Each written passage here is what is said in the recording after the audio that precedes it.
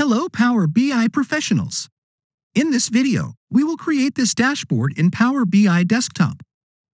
This report contains channels, videos, and its performances such as views, likes, and other parameters. We will guide you on how to create a dynamic y-axis value to visuals added in a report, tooltips, and create a filter as a bookmark. Just a disclaimer that data used in this report are all dummy and doesn't show actual performances of channels used for demonstration. And before we start, please don't forget to like and subscribe in the video and leave a comment. Let's explain first the content of the data. We need the following information such as channel name, video name, views, likes, watch hours, watch duration, comments, and thumbnail image link. We will use these information to build a simple and professional dashboard in Power BI.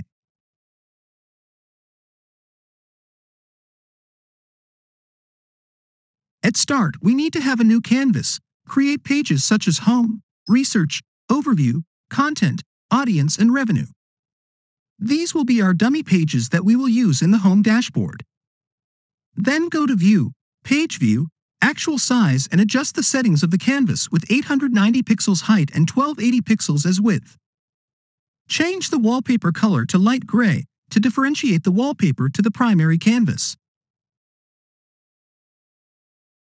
You will then change the canvas color background to dark gray, and we will add an image by going to Insert, click Image icon, then look for an image that will be used as background. The main purpose of this image is to create a separation between the header part and body part. In the properties, you can change the size and style, the image style to fit, also change the padding to 0 pixels across all sides to fit the whole image without extra paddings. With the same steps, we will add another image which will serve as our report icon. We will manually resize it and put it at the top left corner of the report. In the right side of the icon, we will add pages by going to Insert, click Navigator icon, under Navigator, select Page Navigator to allow Power BI to identify all existing pages in the report. However, take note that we will only build the home page, so feel free to create other pages based on these video. We will now edit the properties of the Navigator. You can change the height, width, under Style, change the font type to Segoe UI. We will also remove the background and border of the page navigator so it is aligned with the property design of our icon. Under the default state, change the color of the font, while for selected state, make the font bold to have a clear distinction between what is currently selected page. Then we will add two buttons. Go to Insert, click the button icon, and select Blank Button. We will change the properties such as removing the background and border of the button. Then the font color is white. The icons used in the left side of the text are called text icons which can be copied and pasted and similar to emojis. The first button will be used to launch or open the selected channel to a new browser, while another button will be used to trigger channel selection or a slicer. We will place these two buttons in the upper right side of the dashboard to make it as visible to the users. In this part, we will add card visuals and to do that, Right-click in the canvas, select Add Visuals, then select Card's new visual, then put it at the top of the dashboard. We will then manually select our parameters such as views, likes, dislikes, watch hours, watch durations, and comments as total summary. Similar to other visuals, we need to adjust the height and width of the report to ensure other important visual will fit into the canvas. Also in this steps, we will remove the background color, under Shape, change the shape to rounded rectangle. Then go to Callout, change the font type to Segoe UI and decrease the font size to 14 and make it bold. Do the same approach in the label and put the label below the values. We will change the name of the values and remove the word sum for simplicity purposes. You can go through all of the values and do it manually.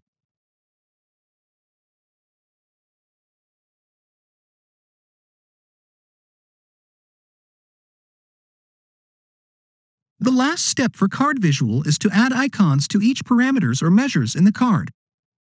To do that, select the card visuals, go to Cards, then go to Total Views, scroll down and go to Image Property.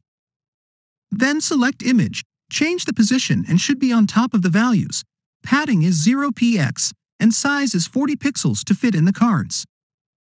You have to go through each of values and parameters and manually add the custom icons. However, you can also use image URL or links for easier approach. Feel free to adjust the position of the card visual and avoid too much white spaces from the first visual to the next visuals.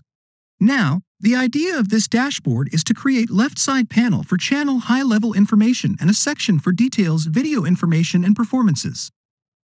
To do this custom sections, add rounded rectangle, then we'll edit also it properties and select a white background for it. We will manually resize it so the top and bottom alignment matches with the card visuals and size of the whole canvas. Then, we will just copy and paste the shape to avoid to go through all the process and manually resize it as well to match with the right and bottom alignment. In the left panel, right-click and add visuals. We will add a dynamic image visual using cards, then manually resize and place it to the top of the panel. Select Channel Image column, go to its image properties, then select Image URL, click FX button, then use First Channel Image. We will remove all callout information such as values and labels and we will remove the background and border of the card. Take note that this is only a workaround since there is no native visuals for images. Then, we will add a custom slicer visual known as Chiclet Slicers. Right-click in the canvas, select Add Visual, then at the bottom click the three dots to search for custom visuals. Search for Chiclet and click Add. You will receive a prompt if import is successfully completed. Select the chiclet slicer and manually resize and place at the bottom of channel image. Then go to Data, select the categories and total summary of each parameters. The next steps will be more of background and font color, size adjustments so feel free to change based on color theme you're following. This will be the second visual in this left panel, Add Visual, then select Table. Resize it accordingly select the categories and total summary data. Since we will customize this table, under Style Presets, select None. Go to Grid and remove all horizontal lines and hide the total value. We will change the column header name to Parameters and Total as headers. Then, you need to change the alternate background color of each rows and adjust the paddings of the table. You can also add conditional formatting. Just to showcase its purpose, we can follow the conditional formatting suggested by Power BI and change the style to arrows format instead and click OK. The last visual that we will add is a clustered column chart. For x-axis, we will add dates and show year and months only. For y-axis, we will use views to edit its format, however we will change it later to use dynamic change in y-axis based on parameter selected. Then, Add title and subtitle, and change the color background to dark gray, and instead of blue column color, we will select white to match with the concept theme of the dashboard.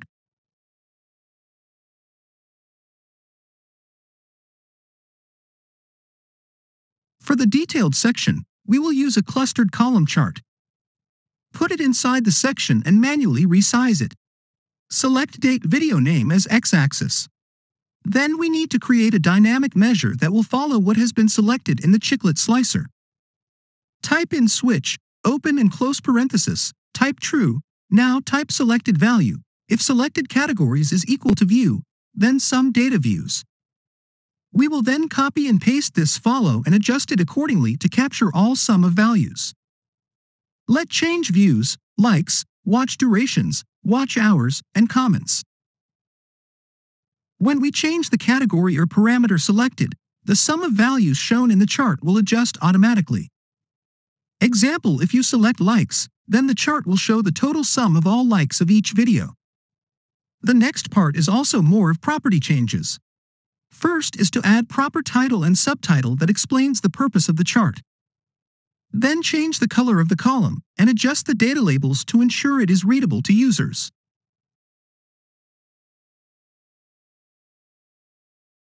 At the bottom part of the section, Add Tables, go to Data, and select the following columns such as Thumbnail, Video Name, Views, Likes, Dislikes, Watch Duration, Watch Hours, and Comments.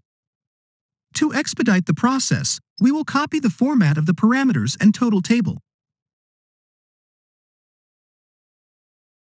In this part, we will add our slicers for channels to dynamically change the selected channel in the dashboard. Click Add Visual, then add Slicer Visuals, select the data for list of channels, go to Background and select dark gray color and put transparency color to 2%. Then put padding to under 20 pixels. Add title and subtitle accordingly to give users information about the purpose of the slicers. Make sure that your font color is white or any light color to ensure it is readable in a dark background. Also set the slicer to allow single select only which means your dashboard allows one channel selection for every analysis. Then copy and paste the first button we had created and paste it on top of the filter and put it at the bottom and change the icon and name to close panel. This part is more of change in color and formattings. We must select the data that contains all channels for visibility of all channels existing in the datasets. For us to trigger hide, unhide of both slicer and button, we will utilize bookmark feature of Power BI. For show feature of the filter, go to View, click Bookmarks, then click Add and change name for readability. Right-click in the bookmark and ensure that data is selected, which means that the current state will be captured with the selected channel selection. For hide bookmarks of the filter, first, go to Selection, then manually hide elements for the channel slicers and button. Then go back to Bookmarks. Click Add, right-click, then untick Data. Change the name for better readability of bookmarks. You can also test each bookmarks by clicking each bookmarks. Then to formally trigger it, select the Close Panel button, go to Actions, and select Hide Filter. Do the same for Select Filter button, but select Show Filter Bookmarks. And that's it for this video. We hope you have learned from this video. We have expedite some parts of the property changes since it has been a clear approach.